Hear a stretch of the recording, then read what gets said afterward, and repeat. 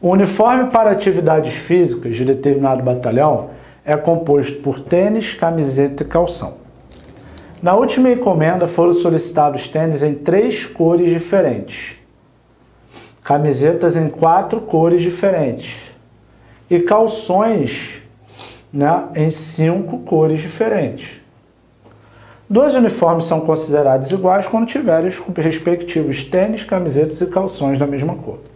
Com base na situação hipotética, quantos uniformes diferentes podem ser montados para esse batalhão? Questão simples, é só perder o medo. Por que é simples, gente? Vamos lá.